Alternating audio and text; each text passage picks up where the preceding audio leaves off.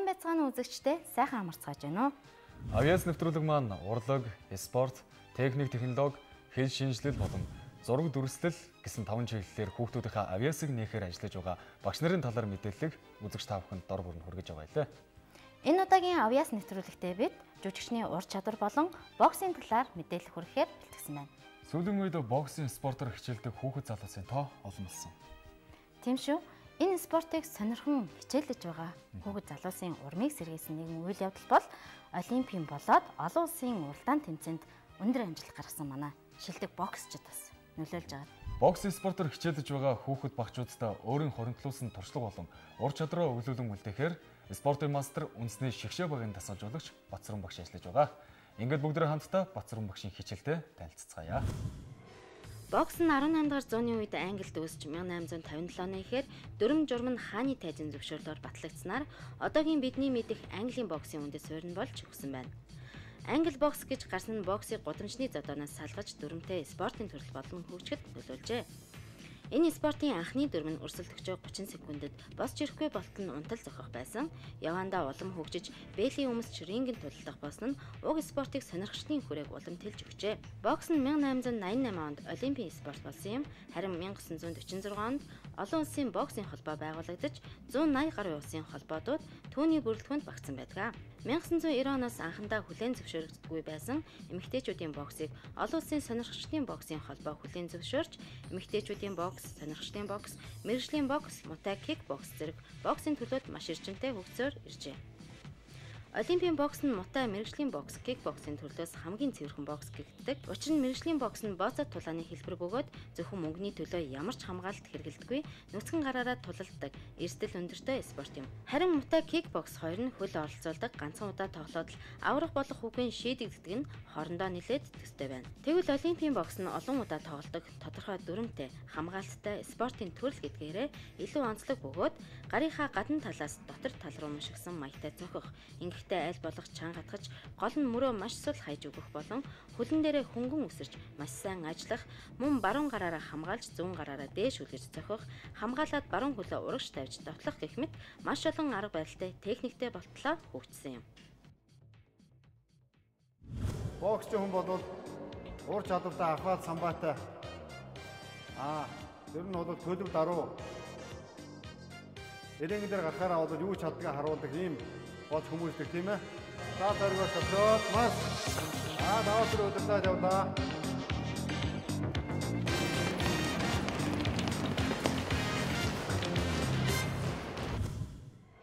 Хүч ухаан хосолсон спортын нэгэн төрөл бол бокс.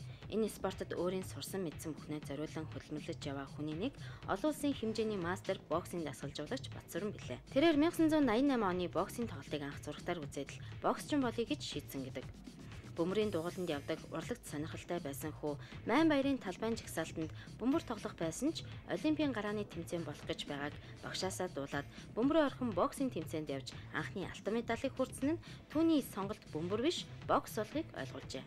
1997 онд багшийн их сургуулийг багш дасгалжуулагчийн мэрэгчлэр төгссөн тэрээр Монголын боксing холбоо үндэсний шигшээ багийн дасгалжуулагчаар 2007 оноос хойш ажиллаж байна.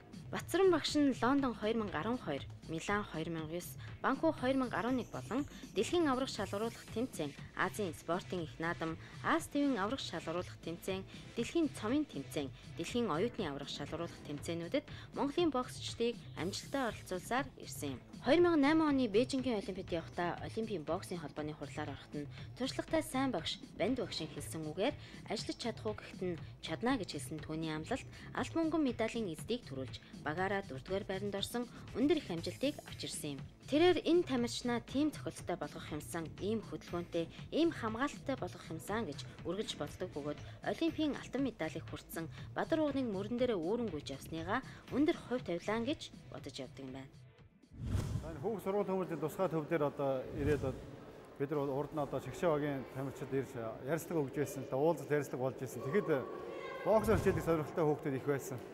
Тэгээ энд ирж уулзаад бас энэ спортоор хичээлийг сонирхолтой хүүхдүүдийг боксоор хичээл сонирхолтой хүүхдүүдийг шийд сонгож авсан та.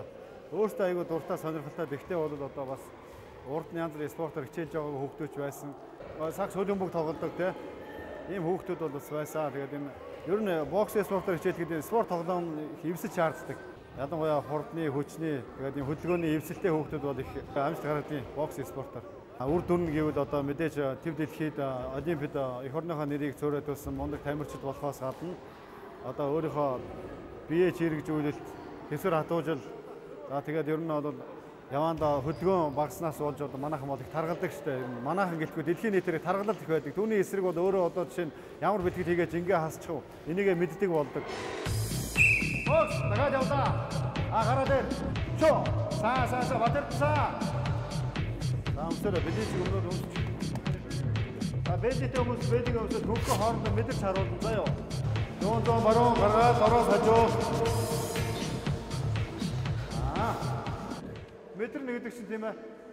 Заавал чанга зөх халбгүй шүү. Хаба нааш зөхтөө. Хаба энэ нөгөө талаа. Хаба хоёр ээжтэй. Хап ахаад хап хап тэ. Ба ба энэ ойлгосон чи долгоороо зүгээр зохиул. Нааш зөх. Хаба ингээ хамгаалц. Ингээ хамгаалц. Дахиад дан дан дан энэ. Цав хап энэ. Хап хап хап энэ. Цэж хөтлөх хап хап. Гар хамгаалт байж болж тий. Тэгээ цээжээрээ хамгаал. Ээлжлээ 1 2 ээлжлээд явуул заа ёо. Ер нь бол альва спортууд бол багасаа дур сонирхлоо өгж одоо хичээлэхэд үр дүнтэй байдаг л да. Ер нь бол яг хитрхи их баг насны хүүхдүүд байлаа гэхэд бол эхлээд тэр хүүхдүүдийг спортод нэг дурлуулах үе байдаг ах нарыгаа ч юм уу алдартай тамирчдыг хараад тий бичлэг үзээд одоо зурагтаар хараад эс ийм хүн болох юмсан би ямар гоё юм бэ гэдэг энэ хамт хичээлж байгаа энэ их ах нараасаа суралцаж тэр хүмүүсийн хүн болох юмсан гэж дурлах нэг үе байдаг л да. Яг учир зүггүй ийм жоохон хүмүүс бол зодолдоод бокс ч болчих бол болоогүй байдаг. Гэхдээ бол яг тэр спортод дурлах тийм үе байдаг. Тийм болохоор ингээд ах ихсрийн дагуулад явуулж идэв. Толгой дэш гар дээр энэ гар дээр хаба хаба хаба. Аанаас хар. Багшаа багш нар харгая. Наач гараад нэрөх хийх хаба. Бөөч тонгоохгүй шүү дээ. Энэ хар. Энэ хар. Гараад энэ хар. Хаба. Хаба энэ охин хар. Хаба. Хап. Аа дээтэр наап өгөх тоо. Нааш шинэ харж. За. Нааша дөрөв. Тэгээд гаргал. Хаба. Утга гараад ирав. За яваа дөрөв. Нэг гол гол дөрөв. Хап. Оо энэ гаргал харж байна уу? Омбо. Энэ хар. Хаба. Хаба. Хаба дөрөв. Тоо тоо тоо тоо. Хат. Тоо тоо тоо тоо. Хаба тэгээ болт ш. Ооса. Тийм харж гаргаж чи харахгүй ингэж гаргаж болохгүй. Ойлгосноо. За дахиад хий. Нэг гол гол гол. Хап. Хап. Аа наш харна. Аа ихсэн. Хаба. Хаба. Хаба. Аа дөрөв. Ихсэн. Оо одоо болж штэ. Хап. Онц. За болж наадахад автаад гараа.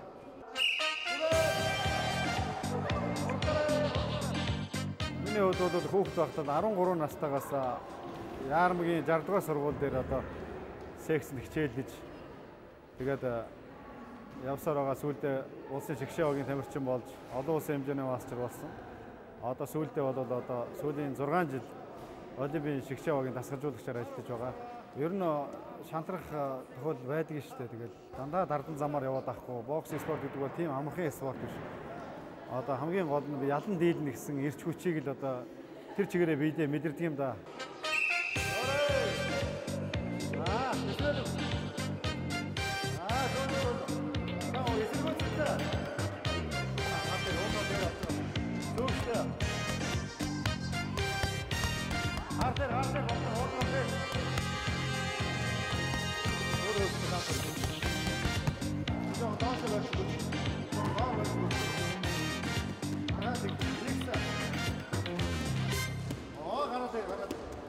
Arratma. Ne kadar bol olur. Arratma.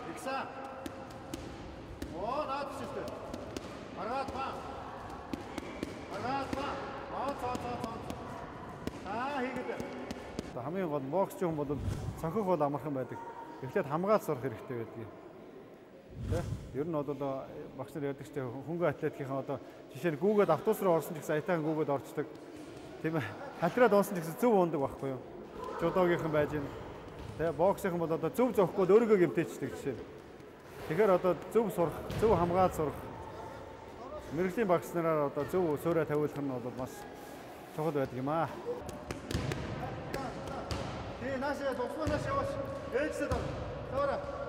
Дөрөв. Айш таар нэг.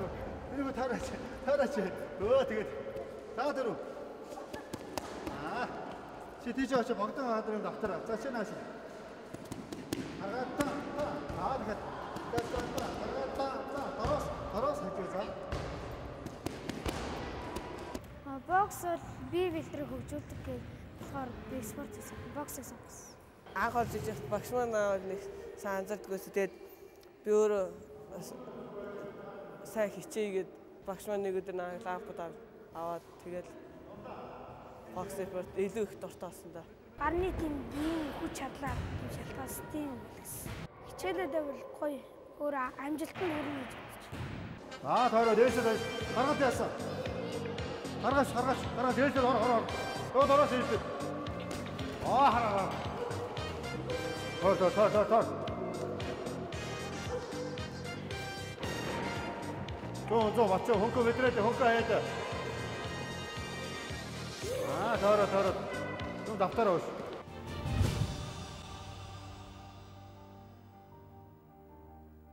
Харин манай дараагийн багш бол ардын жүжигчин, кино найруулагч, зохиолч Гомбож авийн жигжит сүрэн.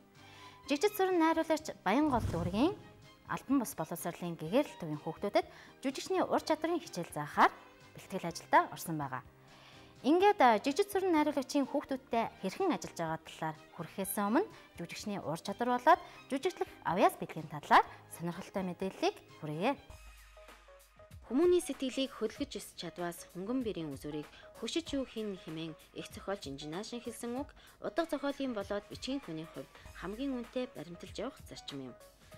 Харин нууж ядаж байсан нулимсыг унгаах хүчтэй сэтгэлд хургасан баяр гунагч гжигдэж энгийн биш мэдрэмжийг хоромхон зургийн дотор төрүүлж чаддаг жүжигчин хүнд алхан бүртээ өөрөө өөрийгөө хөгжүүлэхээс өөр зарчим байдаггүй.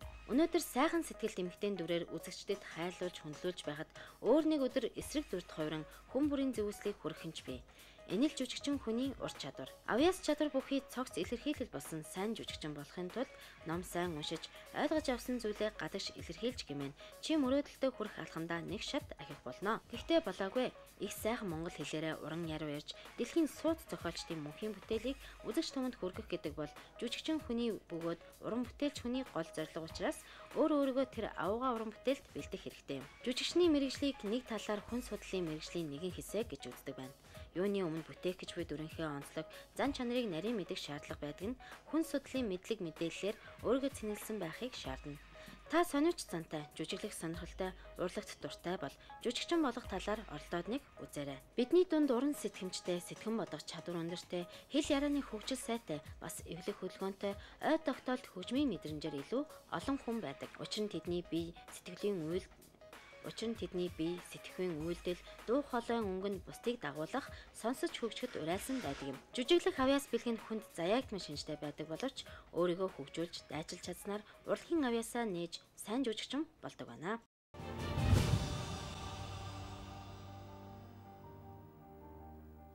Анхны алхмаас эхлээд Сурган цэнхэр уус, Бүлээн нурам, Хатанбаатар зэрэг 30 гаруй уран сайхны кино болон төдий тооны баримтат уран сайхны киногаар олон түмэнд танигдсан энэ авьяаслаг эрхэм бол жижиг сүрэн найруулагч. Тийм ээ. Жижиг сүрэн найруулагч уран бүтээлдээ нэг зүйлийг зарчим болгож ажилладаг гэж байгаа л да.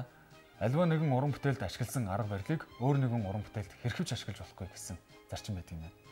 Үүнийх нь үр дүн бидний сэтгэл зүрхэнд тоногшоод байгаа өнөө сайхан сайхан уран бүтээлүүд байдаг юм байна л да.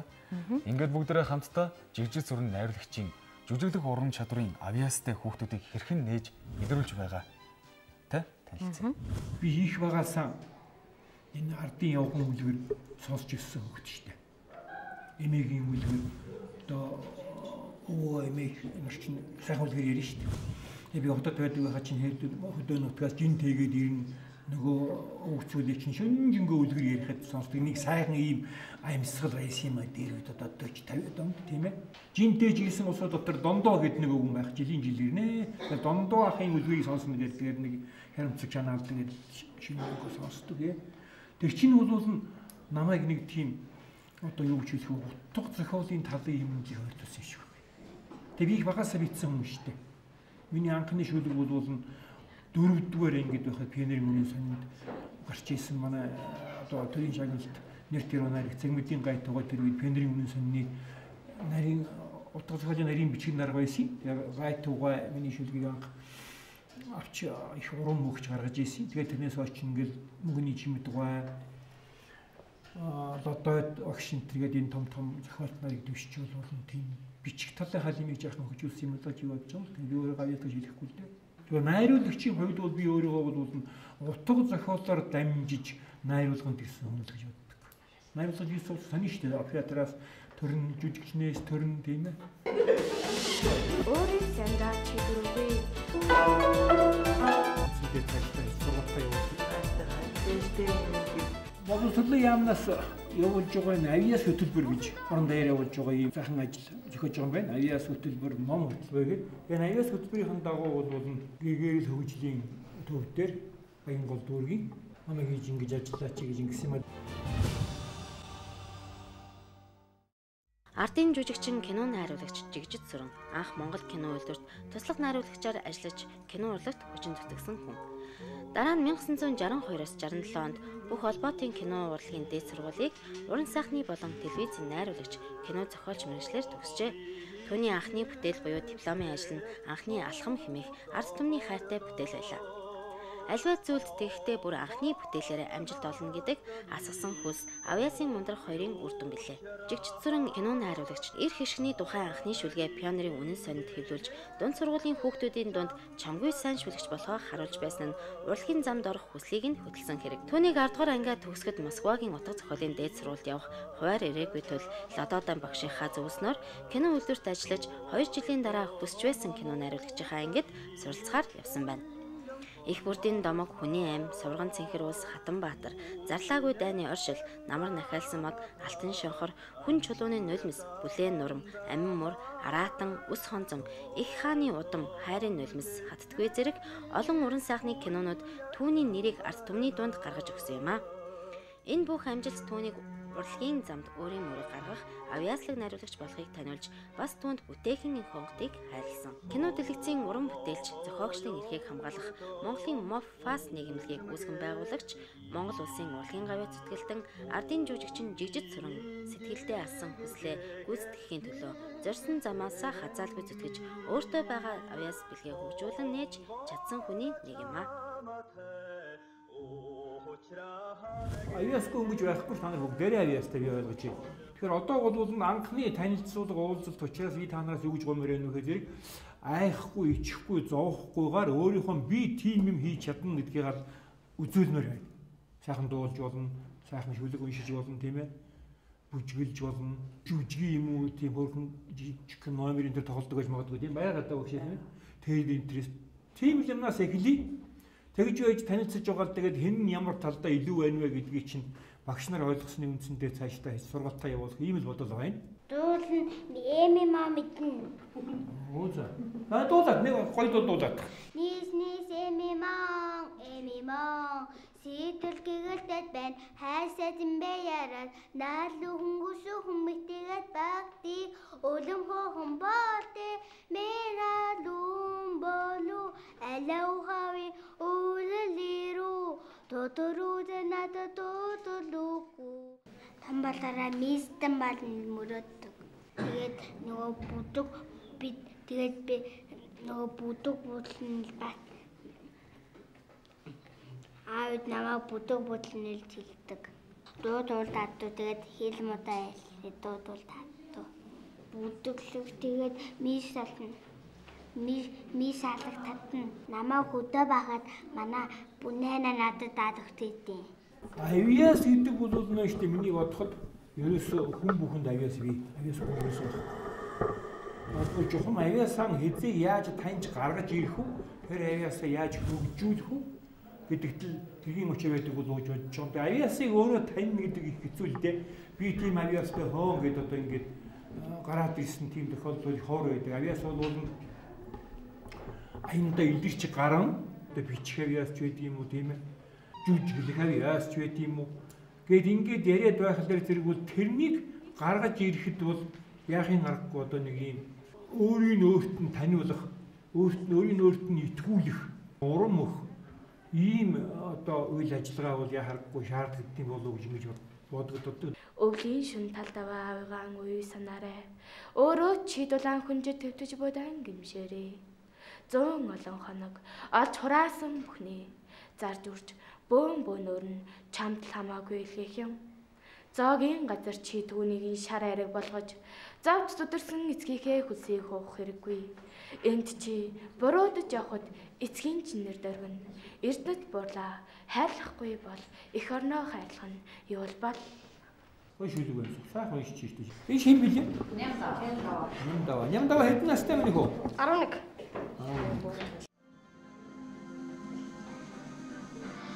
Харахад бид энгийн байдагч газар бор даруухан хөөгөөд харин цаанаа хацуусан иржүүд хайлэр гацгүй тусгагийн дажда жирэн бид эгэл зэргүү жингэн тангараг өргсөн ирж нэрэ би тусгай сатаныхаа нэрэн гаргасан эрэлхэг зэргүүд тусгай сатаа алхам түгээн доорж гисэн тусгай сатаа давшин.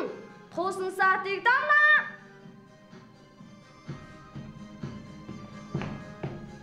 Мосонлоо зүтгэе дараамын жүжигийн дуулаа ингэж нэгтгэр болж оногцныг сонирхолтой санагдаад байгаа. А тэгээд тэр тусмаа одоо бид нартэй яг энэ чиглэлээр тухайлан одоо Баянгол дүүргийн гэгэрэлтүүдээр хамтран ажиллах ийм зөвшөөрлийг ардын жүжигчин кинонд оройдог жижиг сурангаа өгсөнд яам бол үнэхээр одоо маш талархалтай хандж байгаа. Тэгээд ингээд бусад дугуулгуудаа дугуулan болон сексүүдээр явж байхад яг одоо ч хүүхдийн ависыг нээх, хүүхдийг сонгож дугуулan сексэд илрүүлэх гэсэн, илсүүлэх гэсэн ийм теле сургалтууд байгаад байгаа. Энэ хөрөнд ингээд тэг ингээд мэрэгэн бодлогын ч юм уу, эсвэл ингээд шатрах, үгүй бол математикийн а тэгээд дууных бодит гэх мэтлэн ийм секс дугуулan хүүхдийг бол өөрөө өөрөнтэй нэг мэрэгжлийн чиглэл онцлохоор их сонирн байдлаар ингээд сонгож шалгаруулж авдаг юм байна. Сая ингээд харж байгаад ингээд манай жигдээ сурангаа бол бас хүүхдүүдийг ингэж тийм ингээд маш тийм өвөрмөц тийм олон талаар ингээд судалж авч байгаа нь бол их өндөр сэтгэл төрүүлж байгаа маа. Алтан нарны ихэн халуун боловч амин ажимэн хайртая зүрлэх вэ? Үрдийн үрд үрэл гэсэн үлэмжийн түгэсэлтэй би хайртай. Сэсэр усаас гаралтай сэвсгэр цагаан цаасанд би дууралж битсэн загтлимэ дугаар номер 1 юм шүү. Айда хөөрхөн охин мэ. Нууцаа битгий нугааштай хинт гайтайгаар лээштэй уг нь би морин өндөр амар гэхдээ ойр үед оног нэг явж чадхаа байгаад ээж 61 лиг байхаар болохоор гэрт хүн байхгүй гээд тэгээ болохоо тэгээ нь морин өрөөр нийлээ. яваад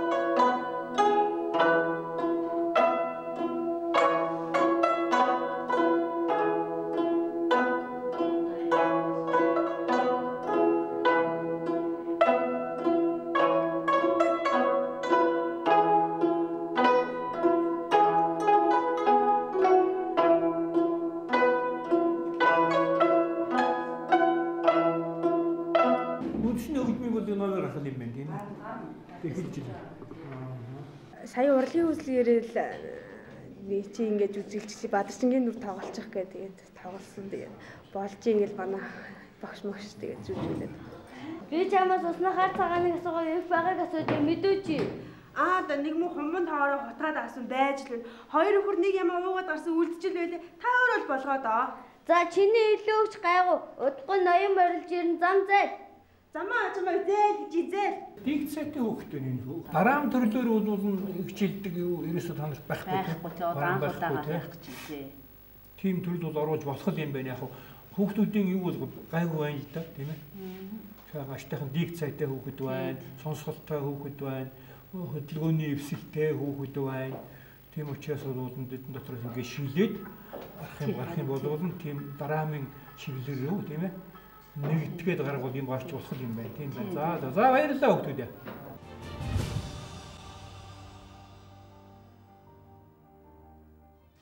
Үзэгч та бүхэн өөрийгөө нээж, хөгжүүлж, хайж, олж чадвал таны авьяас таныг амжилтанд хүрнэ гэдэгт бид бат итгэлтэй байна. Ингээд авьяас нэвтрүүлгийн дараагийн дугаар хүртэл төр баяртай үзэгчтэй. Баяртай.